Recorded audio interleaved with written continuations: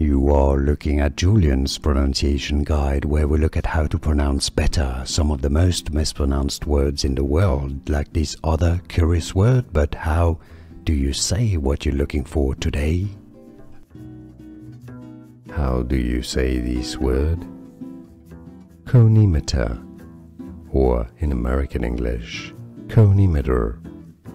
Konimeter.